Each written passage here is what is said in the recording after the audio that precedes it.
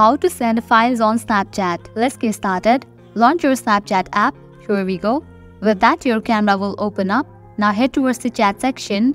After you land to the chat section, open any of the conversation in which you want to send the file. By tapping on this mic kind of icon, you can easily send the audio file. Likewise, by tapping on this icon, your gallery will open up. You can choose any of the photo or video to send. So this is how you can easily send file on Snapchat. In the case you want to send any PDF files or else, you can just close this and open your files application in your device. Now open the file that you want to send. At the bottom left, you will find the share icon, tap on it. With that, different options will pop up. You have to select the option of Snapchat.